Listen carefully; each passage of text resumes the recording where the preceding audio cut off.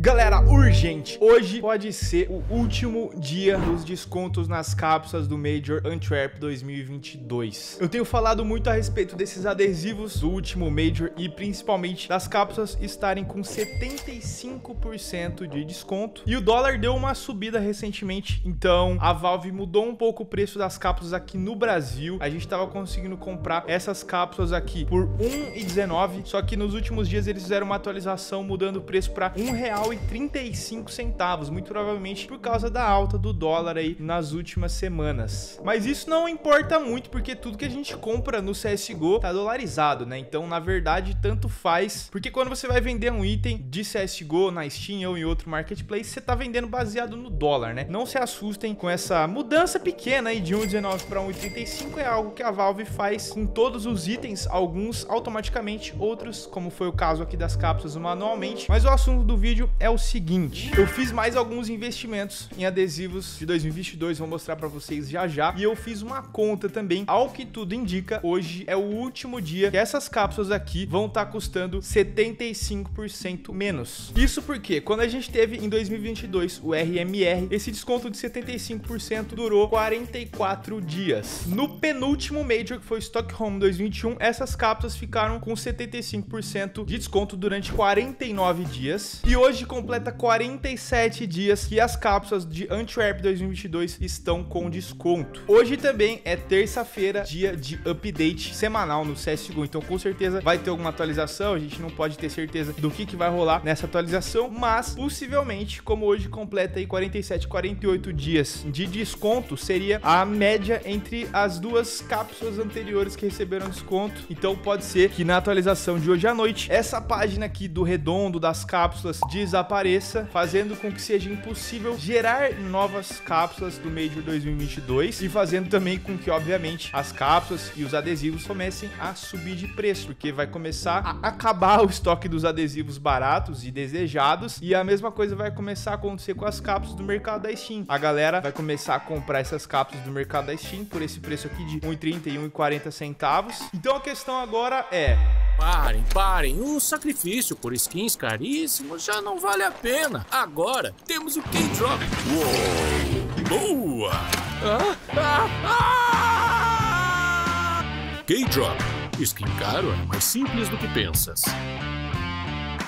Tem dois tipos investimentos que você pode fazer antes que esse desconto saia. O primeiro em cápsulas e o segundo em adesivos. Olhando primeiramente aqui as cápsulas, tá? No mercado da Steam, elas são sete. São duas das lendas, né? A gente tem aqui os adesivos dos times e os autógrafos dos times que foram lendas aí em Antwerp 2022. Acredito que os principais para prestar atenção aqui nessa categoria são os adesivos da Cloud9 e da FaZe. Já nos desafiantes, a gente também tem as duas cápsulas, né? Dos adesivos dos times e dos autógrafos e aqui a gente tem a G2, galera. E o autógrafo do Monese, o adesivo mais caro entre os dourados. Já nos desafiantes regionais, os contenders, a gente tem o adesivo da 9Z, mano. Tá muito lindo. E a gente tem, obviamente, o autógrafo do Rox, mano. Esse aqui é o adesivo mais hypado e é o mais caro entre os holográficos. E por fim, a última cápsula, que são os autógrafos dos campeões. Só que aqui eu acho que talvez não haja tanto interesse. Apesar da FaZe ter ganhado de novo aí o último campeonato campeonato grande de CSGO que acabou de rolar, Colon 2022. Eu não vejo tanta possibilidade de lucro nesses adesivos aqui, mas posso estar errado, porque alguns jogadores estão se destacando muito. É o caso aí do Twist, é o caso também do Brook. Então pode ser uma boa também investir nesses adesivos. Já já vou falar dos adesivos que eu tô comprando, tá? Tenho cinco adesivos que eu acabei de comprar que eu tenho que mostrar para vocês. Antes, vamos dar uma olhada nas quantidades de cápsulas anunciadas no mercado da Steam. Isso aqui vai revelar pra gente basicamente qual cápsula foi gerada em maior quantidade, qual cápsula os investidores estão comprando mais mais. E já anunciando aqui no mercado da Steam. Então a gente começa com os adesivos dos times LEDs, mano. Esse aqui é o disparado em maior quantidade. São 389 mil cápsulas. E eu acho que não tem segredo que todo mundo investiu nessa cápsula por causa do adesivo da Cloud9. Essa cápsula aqui tem o adesivo de time holográfico mais caro de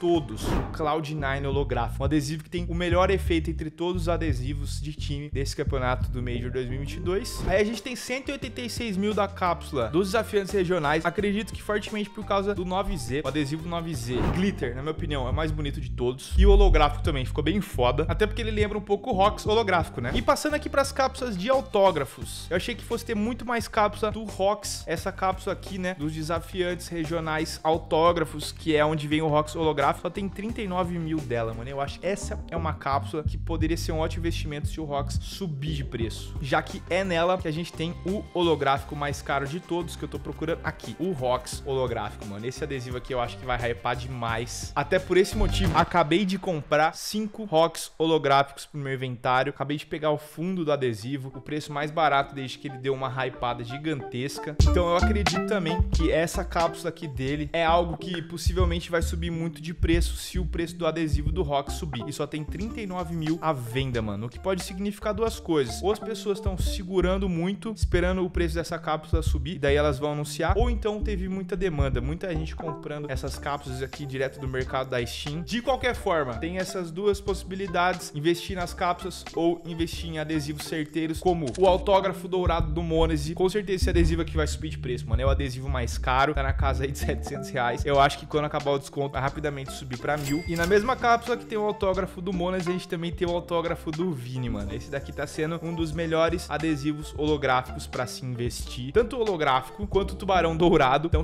segurando bastante seu preço, não caíram mais e eu continuo comprando adesivos do Vini simplesmente por causa do tubarão. Mas e aí, vocês acham que vai acabar hoje o desconto ou será que a Valve vai dar mais alguns dias pra galera investir nas cápsulas? Eu acredito que acaba hoje. Vamos acompanhar. Geralmente as atualizações semanais do CSGO acontecem terça-feira, no período da noite aqui no Brasil. Então se rolar essa atualização aqui à noite, volta aqui correndo nesse vídeo, deixa os comentários, fala o que, que você investiu, o que, que você comprou. Durante esse dia de hoje vou continuar comprando alguns adesivos e vou pensar se eu vou comprar cápsulas ou não. Eu já comprei 1.700 cápsulas e eu acredito que é um investimento um pouco mais conservador, enquanto que investir nos adesivos é um pouco mais arriscado, sim, mas é ir direto ao ponto e tentar descobrir quais vão ser os melhores adesivos em questão de valorização. Bom, já que eu não consegui o Rox Olo abrindo cápsulas, eu tinha que comprar esse adesivo, né? Eu tinha que ter alguns aqui no meu inventário. É bom que eu tenho quatro, talvez eu faça algum craft, quem sabe, mas também não sei se faz sentido. Eu acho que o preço desse adesivo vai disparar logo depois do fim do desconto. E é isso, a gente se vê no próximo vídeo aqui no canal. Não esquece de deixar um like. Tamo junto, falou!